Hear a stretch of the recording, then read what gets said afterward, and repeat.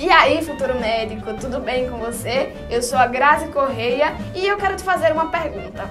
E aí, será que você já ouviu falar no, no, método de estudo progressivo? Se você não ouviu, fique por aí, que eu tenho certeza que você vai saber de tudo até o final desse vídeo, beleza? Se você já ouviu falar, não esqueça de comentar aqui embaixo, ok? Ah, não posso esquecer de dizer para que você dê uma olhada nos outros vídeos que a gente postou aqui viu nas outras duas semanas passadas. Lá a gente também fala sobre outros métodos de estudo.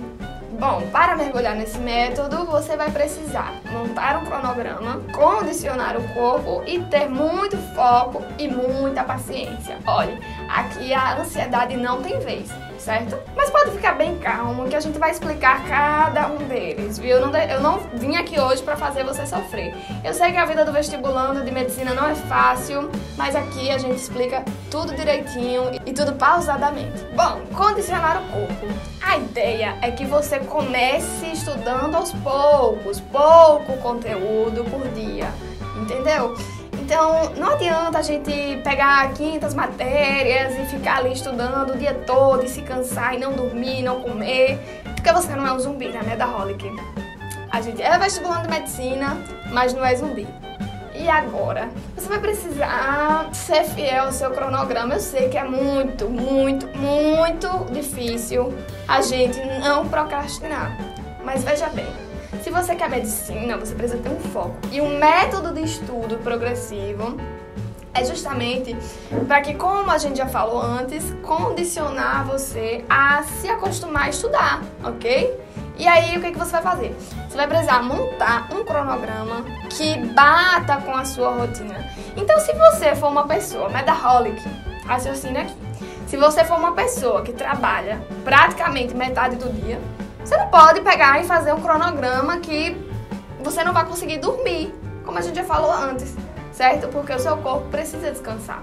E aqui no método progressivo, a gente vai ter que ir aos pouquinhos. Então, seja muito, muito, muito fiel ao seu cronograma. Tudo bem? Tá, mas e aí? No que consiste o cronograma do método de estudo progressivo? Tá, mas e aí? No que consiste o cronograma do método de estudo progressivo? É bem fácil. Você vai começar estudando uma matéria por dia durante uma hora. Não, gente, não são duas, não são três, é uma, certo? E aí, no outro mês, quando você sentir que o seu corpo já está condicionado, você vai lá e dobra essa meta. Você vai lá e coloca mais uma matéria e mais uma hora para estudar aquela matéria. Então aí vão ser duas matérias por dia estudadas durante duas horas, certo? Tá, mas eu quero medicina e eu preciso engolir os conteúdos. Lembre-se, a gente vai falar daqui a pouquinho. Mas imagine que você seja uma pessoa ansiosa. Será que você vai conseguir colocar tudo aquilo na sua cabeça? Eu acho bem difícil, hein? Porque se a pessoa tá cansada, minha gente, para colocar o conteúdo na cabeça é muito difícil. Então relaxe aí, porque nem sempre a gente consegue passar em medicina de primeiro. Mas veja bem, você vai ser o seu próprio, né, o seu próprio mestre, digamos assim. Então você vai ter que perceber se o seu corpo está condicionado. E aí eu falei, né, que você pode colocar uma matéria por dia durante uma hora e aí no outro mês você colocar mais uma matéria, mas você também pode fazer isso quinzenalmente, mas não vai exagerar também em ah, não, meu corpo já está condicionado, eu já vou começar logo, vou empurrar mais matérias e é isso aí que eu quero passar em medicina. Tá, não é bem assim, certo? E você também não vai ficar muito, muito, muito tempo para adicionar mais uma matéria aí nesse cronograma, né? Porque aí também não vai dar muito certo. Já pensou se você fica uns dois anos para adicionar mais uma bendita matéria? Ô, oh, gente, aí não dá, né? Ai, ter paciência e foco. Minha gente, como eu já disse, nem todo mundo passa em medicina de primeira. Então aquela história de que vou engolir 500 conteúdos só vai te atrapalhar e te deixar muito mais ansioso e tenso. Então vamos deixar essa ideia de que você precisa estudar um monte de coisa, precisa ficar sem dormir para passar em medicina, tá? Porque muitas vezes, muitas das vezes, isso na verdade vai te atrapalhar.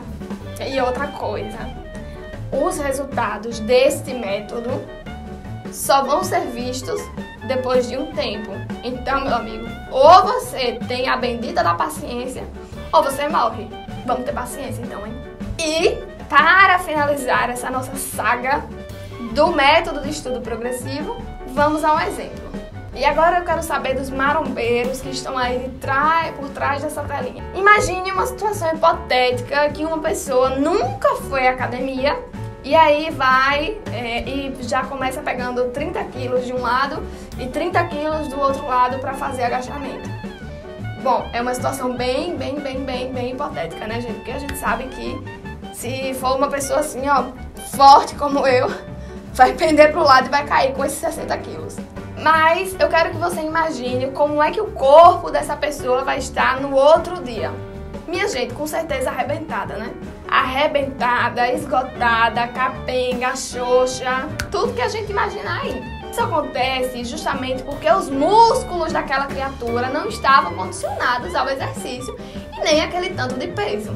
E aí é que tá, mas o que, é que tem a ver esse exemplo com o método de estudo progressivo? A gente pode comparar a situação do corpo dessa pessoa com a situação de um pobre, de um vestibulando, que começa a vida de vestibulando, literalmente empurrando 500, 500 matérias por dia para estudar. E a gente, não dou uma semana para esse pobre coitado não tá lá deitado numa cama sem conseguir levantar. E eu vi a procrastinação assim, ó, como uma nuvem na cabeça dele.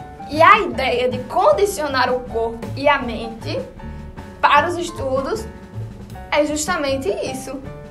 A gente fazer essa comparação aí com a academia. Bom, eu espero que você tenha entendido o que significa o método de estudo progressivo. Espero que você faça o teste aí.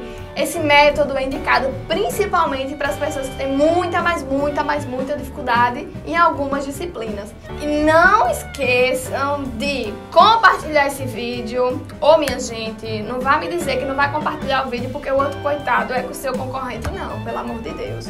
Compartilhe compartilhe o vídeo, curta, comente, viu? E não esqueça de se inscrever no canal, viu? É muito importante pra gente. Se inscreva, por favor. Também não esqueça de ir até as nossas outras redes sociais e seguir a gente, porque a gente posta muita coisa legal, especialmente para nós, vestibulandos de medicina. E não esqueçam também de acompanhar a gente no nosso portal. Minha gente, é tanta notícia, mas tanta notícia, que você nunca mais vai esquecer de se inscrever no Bendito Enem e vai ter que ficar procurando o povo para perguntar quando é que as inscrições vão começar. Lá a gente entrega todo o conteúdo para você. Então, se você tem muita dificuldade, por exemplo, em matemática, comece dando prioridade a esta disciplina. E aí, depois de uns dois a três meses, venham aqui nesse mesmo vídeo comentar quais foram os resultados de vocês, ok? Tchau, tchau, Medaholic e até a próxima!